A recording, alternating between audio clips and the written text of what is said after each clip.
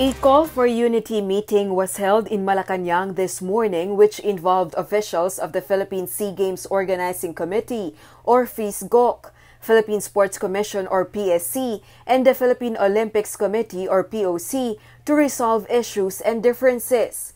Malacanang ensures President Rodrigo Duterte fully supports the country's hosting of the 30th Sea Games.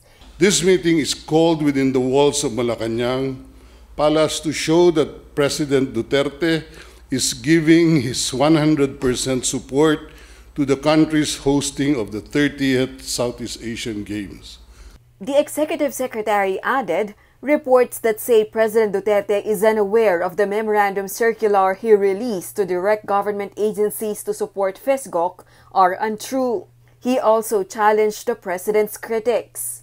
Hinahamon ko yung mga may ingay, magpakita kayo ng tinulong ninyo para sa sports at sa mamayang Pilipino. FISGOC, which remains as the organizing committee of the SEA Games in the country, is surrounded by controversies including allegations of corruption. According to House Speaker Alan Peter Cayetano, the former chief of the FISGOC, if the allegations are true, the people behind corruption activities in FISGOC should be held accountable. FISGOC was created to spearhead the preparations for the Philippines hosting of the SEA Games and generate funds from the private sector. If it's true that there is corruption, let's put people behind bars.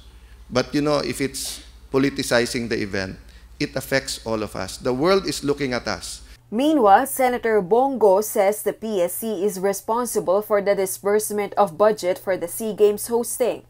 He also assured he is on guard with the spending of the budget and ready to take action on any complaint of corruption.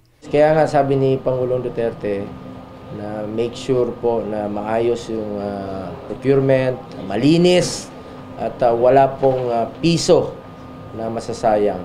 Lalong-lalo na po, uh, pera po ito ng gobyerno, pera po ito ng tao.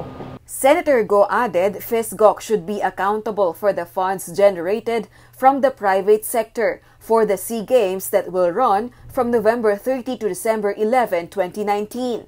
This is the fourth time the Philippines will host the SEA Games. Manila hosted the SEA Games in 1981, 1991, and 2005.